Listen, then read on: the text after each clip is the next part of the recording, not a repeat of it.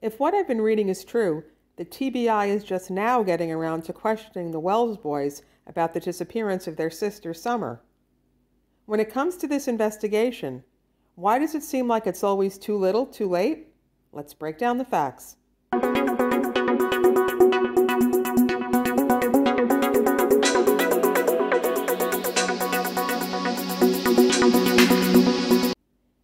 Makes no sense to me why the authorities have waited six months before questioning the Wells boys about the day their sister went missing.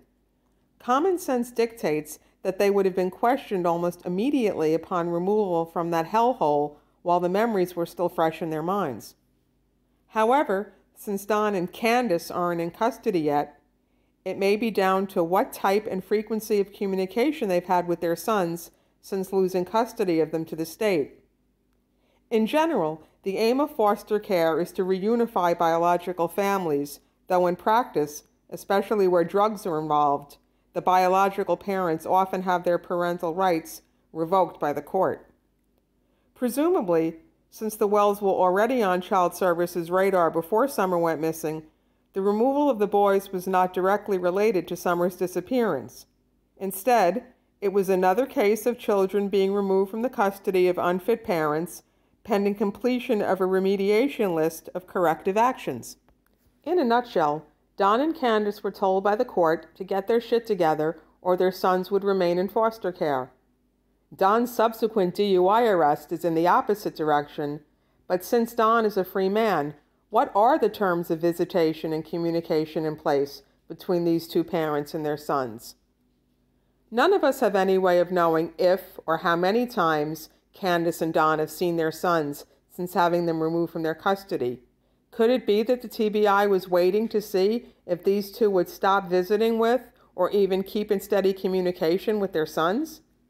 A lot has been made of reports making the rounds about local parents calling the police on Don and Candus because their underage children were hanging out at their home, drinking, and possibly using drugs as well. Since one such source of info is this Don B, I take it with a grain of salt until someone gets specific with the time. As in, last week, some parents in Rogersville, Tennessee called the police on Don and Candus Wells after Candus refused to give them her address to come pick up their teenage children who were at that house hanging out and drinking with them. While I get that this type of child endangerment is yet another misdemeanor in Tennessee, one would think that police would be looking for any excuse now to isolate Candus in order to question her until she breaks. As for the Wells boys, I hope that the TBI gets at least enough information from them to warrant a warrant for Candus's arrest, even if only for misdemeanor obstruction charges. I'd like nothing better than to see some hard-ass TBI investigator grill the crap out of Candus until she confesses everything about what happened to her daughter Summer.